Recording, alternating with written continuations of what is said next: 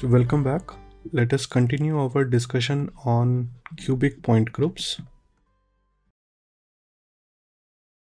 So we have seen in cubic point groups how uh, the closed regular polyhedrons uh, actually there are five types of those and then they all form uh, different types of cubic point groups. So let us try to list them now.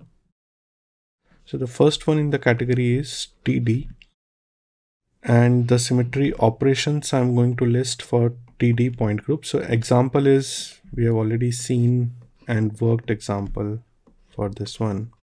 Is a famous uh, methane molecule tetrahedral right? Now there are eight C3 operations. Then we have three C2s and six S4s and six sigma Ds. The total number of operations are uh, 24. So we call this as okay somehow order of the group as 24 which is total number of elements not the group elements as we have already discussed. Or in this case we can say total number of symmetry operations. So you can see that it's a very large number so it's a highly symmetric point group. Now the second uh, is tetrahedral and then we have octahedral which is OH let us also list down we can see the example as AB6 E 8 C3s then we have 6 C2s 6 C4s will be there. And 3 additional C2 primes will be there. We have I. 6 S4 so as you can see that there is large number and it is difficult to remember all the uh, symmetry operations. So unless you actually uh, draw the molecule and try to identify all the symmetry operations. So let me go there. 8 S6 then you have 3 sigma H and 6 sigma d okay?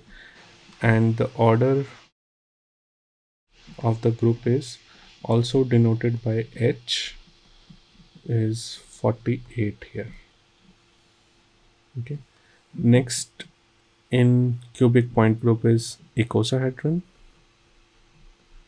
denoted by ih so the example here includes uh, we have b12 h12 2 minus ion which takes up the IH. So I'm not going to cover the shape again. So we already know uh, the shape of the icosahedron. So another example, another uh, famous example is C60, which is uh, also called as buckyball. It is not a regular polyhedron because here uh, you have alternating pentagon and hexagon faces right? So we all know the structure of buckminster fullerene. So c60 buckyball it is not a regular polyhedron but still it forms under ih point group. So let's see the number of symmetry elements which is actually very huge in this highest for a symmetry point group actually. 12c5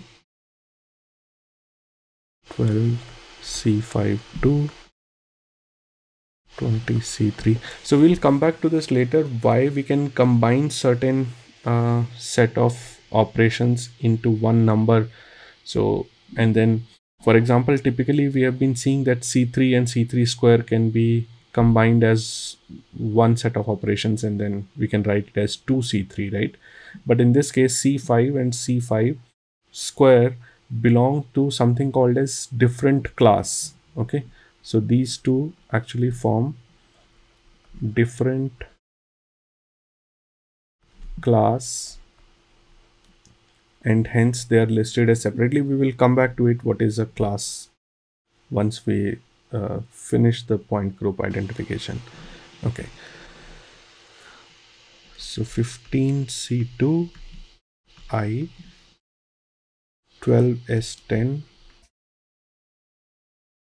20s6 15 sigmas and 12 S10 cube. So order of the group is 120. So this is uh, the highest order symmetry point group only after I think C infinity V and D infinity H where H is infinity actually because you have infinity number of elements so after this, the highest order point group is icosahedron, IH. And the examples we have already discussed. Okay. So now you can see that uh, how uh, uh, there are different type of point groups available. So let us again summarize them. So summary of point groups. So we have seen that uh, we had uh, non-rotational we had single axis rotational where there is only one rotational axis. Then we had dihedral. Then we had sn. And finally we had cubic right? So non-rotational included c1 CS, CI. Single axis rotational included CN,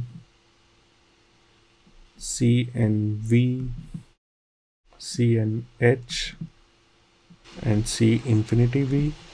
Dihedral included DN. So these symbols are called as Schoenflies symbols uh, of point groups we will see how to classify different molecules into these point groups uh, depending on what our uh, symmetry operations are present. So DNH, DND,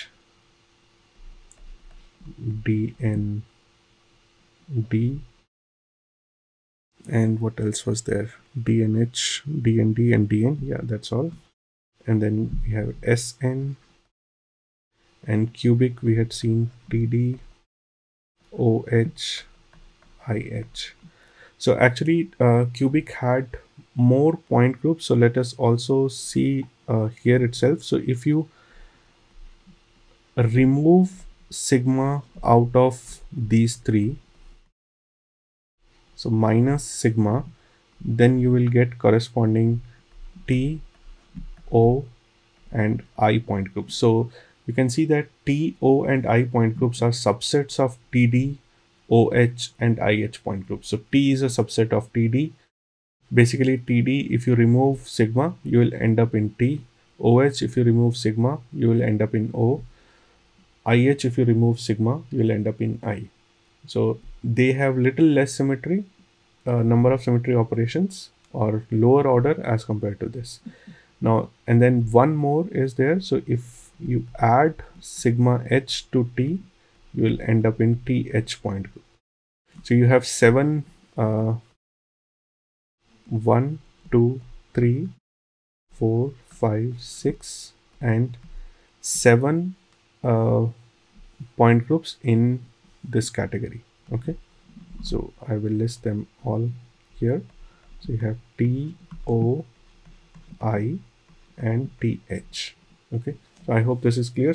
These are all the point groups that we have. Now, how do we classify these, uh, a given molecule into this? and it is not easy because we have to list down all the operations and then we have to check each of this whether it belongs to a particular point group or that point group or this point group so there is a nicely made uh, flow chart let us look at this flowchart. It is available in many books so but uh, i have adapted with my understanding i have adapted slightly differently but then let's see. I mean you can see different versions of it but do not worry they all end up in same uh, classification of point group. So let's start with so you have so you're starting with the molecular structure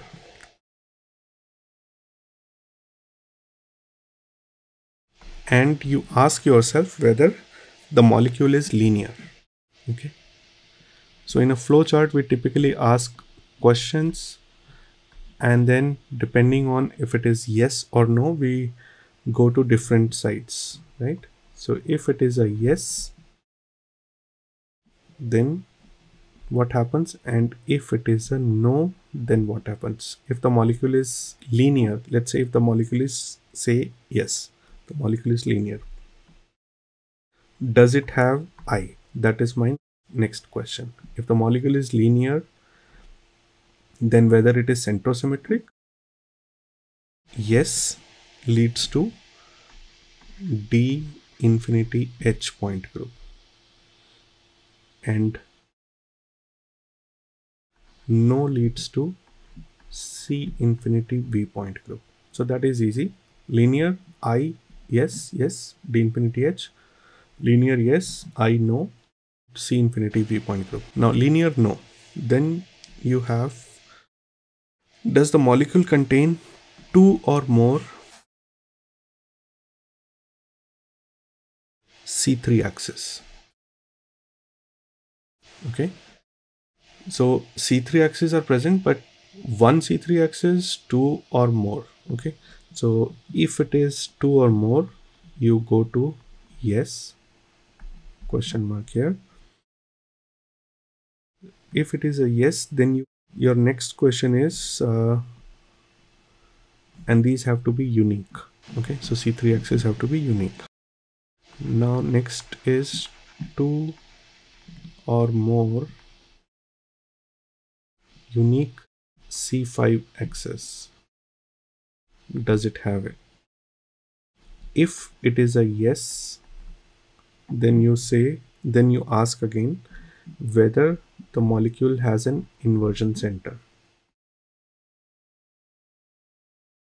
So uh, i understand that it is becoming very messy but then as you practice it i think it will become very clear.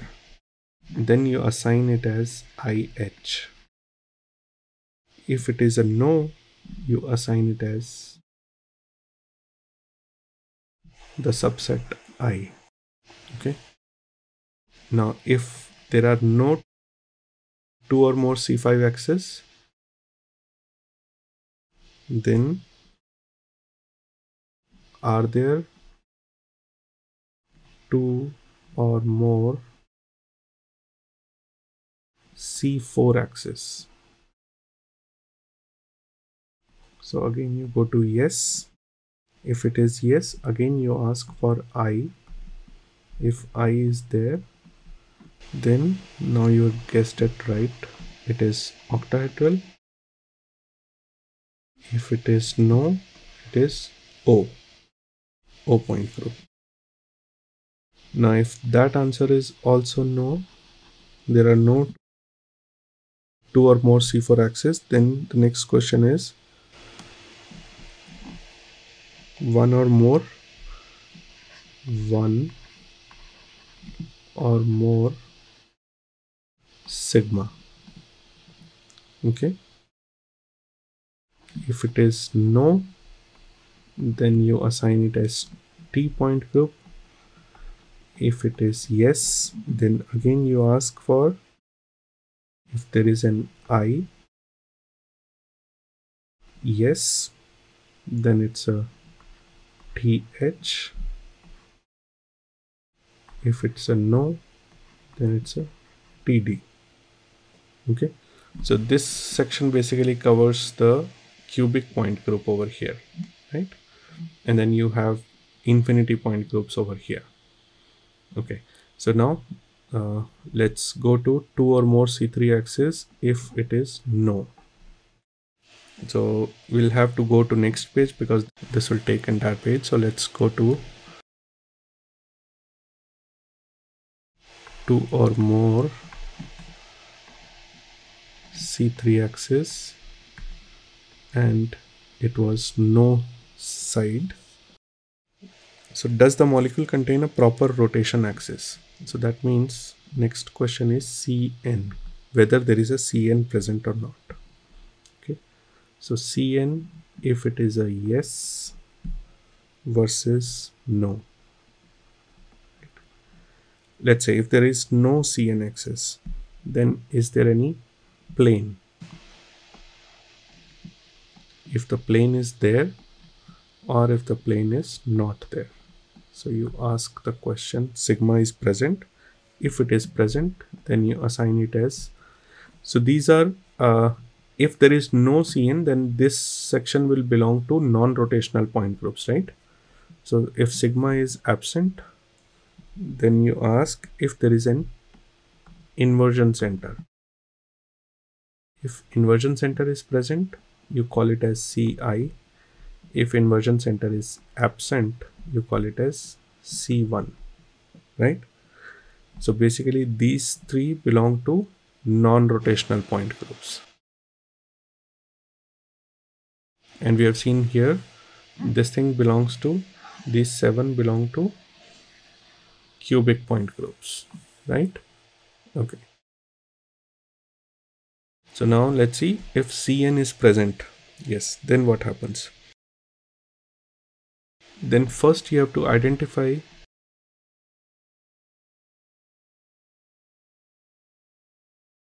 n that what is the order of that axis highest order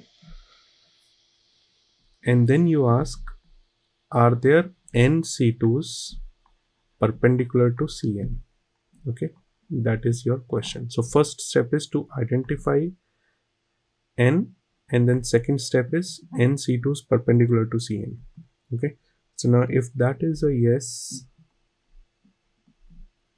then you will ask does it have a sigma h okay horizontal plane.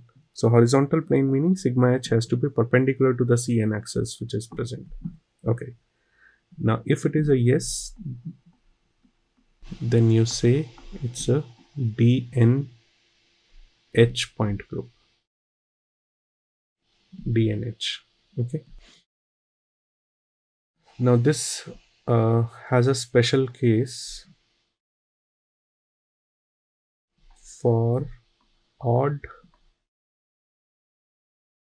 n if n is odd the uh, sigmas are called as there are n sigma v's. Of course there is one sigma h and then there is there are n sigma v's are present. And for even n there are n by 2 sigma v's n by 2 sigma d's okay this you can confirm uh, by looking at different point groups okay all right.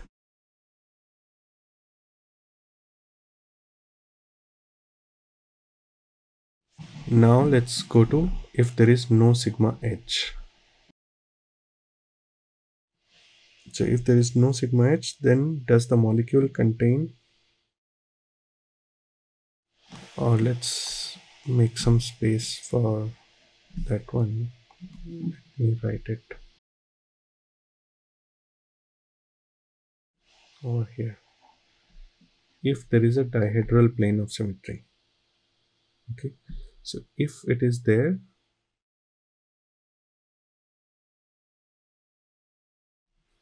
then you call this as DND point group okay and there would be n sigma d's in this. So this will help you assign how many sigma v's and sigma d's will be present in any particular point group. and if it's a no if there is no sigma d then you call it as dn point group. Okay? Also there is one important point for dnh if n is equal to 2 so that means there is a C2 axis and there are two C2 axes perpendicular to the original C2 axis. So that means there are three C2 axes which are perpendicular to each other. We have already discussed this case uh, previously. So a C2 axis and there are two C2s perpendicular to each other. So that means uh, all the three C2s lie along x, y, and z coordinates, right? So if you try to put the molecule along the coordinate system, so the three C2s will actually lie along x, y, and z. So in this case, the sigmas can be or sigmas are called as sigma xy. It is sigma xy, sigma yz, and sigma zx because it is not easy to identify which one would you call it as uh, principal axis. So uh, which one would you call it as sigma h versus the uh, two sigma v's right? So ideally you should uh, have one principal axis out of these three but then it is not always simple to identify which one is the principal axis. In certain cases yes you can do it but in certain cases you cannot. So the easier way is to call C2 axis as C2Z, C2Y, C2X and the planes as sigma XZ, sigma YZ, sigma ZX instead of calling it as uh, sigma H and sigma V's. Okay, so that helps.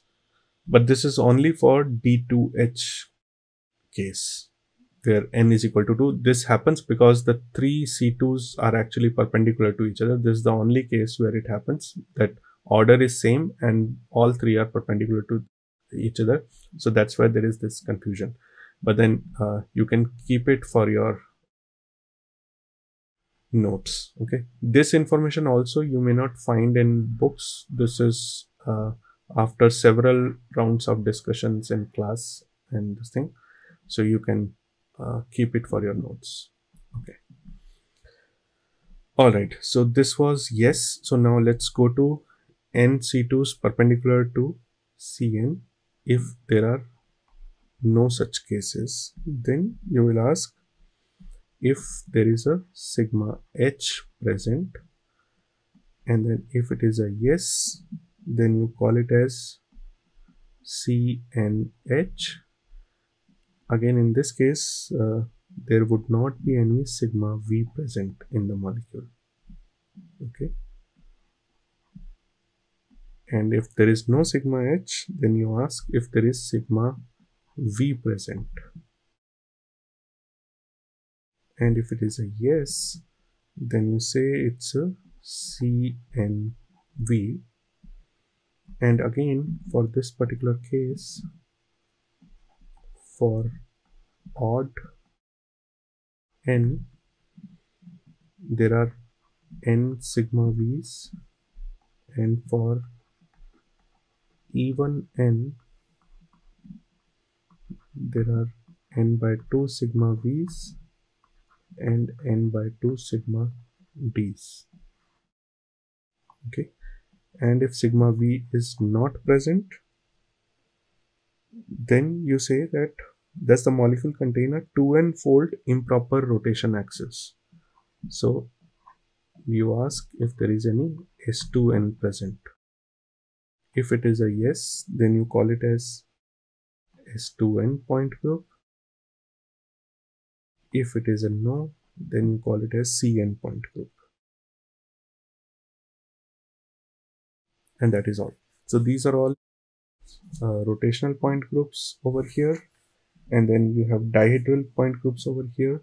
So we we have tried to channelize by asking different questions into different uh, streams or different categories of point groups. So now if if you notice that it really does not matter whether you are asking whether it's a sigma v or sigma d right So in any case, it will be uh, all the sigma v's. For example, here if you see here, uh, so let's start with here. So you are asking sigma h, which is easy to identify.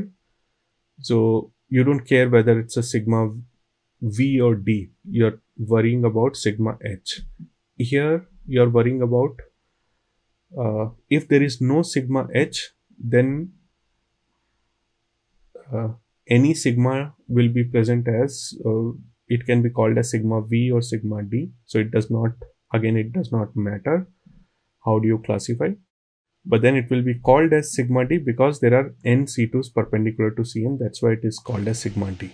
Okay? Because there is a dihedral uh, this is a dihedral uh, condition. So that's why there is a sigma d present.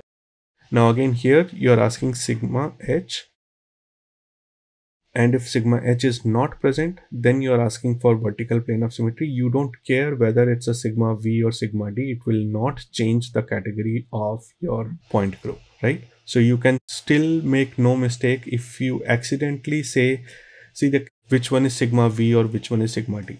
The problem is if you do not identify sigma h properly then you may end up in wrong point group.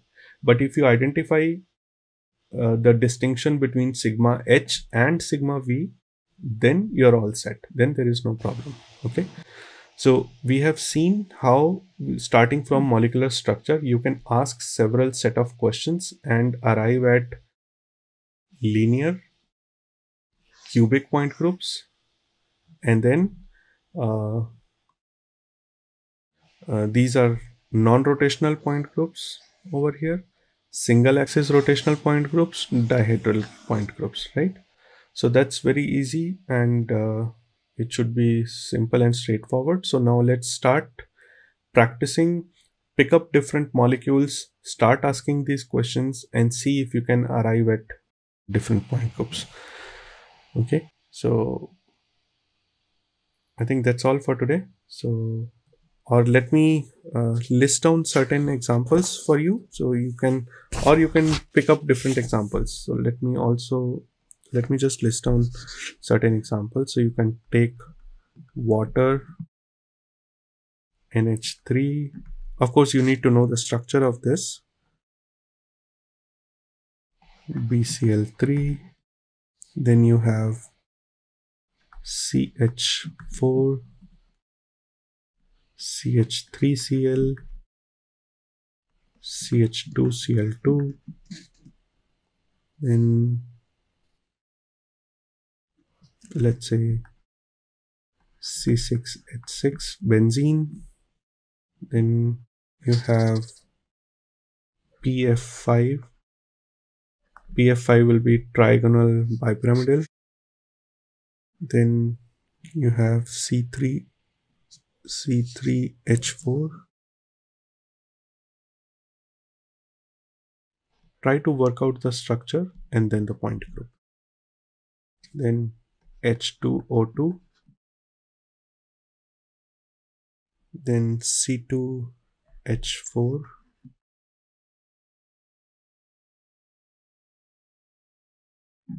C2H2Cl2 and you can do cis and trans both conformations. Then we have staggered. I have discussed a case of uh, one conformer of ferrocene right? So but this one is a different one staggered ferrocene. And then you can also see eclipsed. We have seen twisted ferrocene right? Eclipsed ferrocene and let's say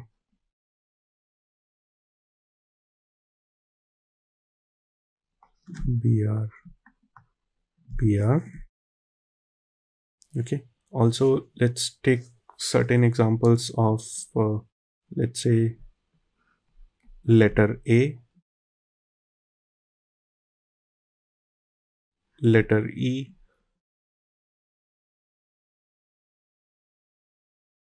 a sharpened pencil. So a pencil would look something like this right?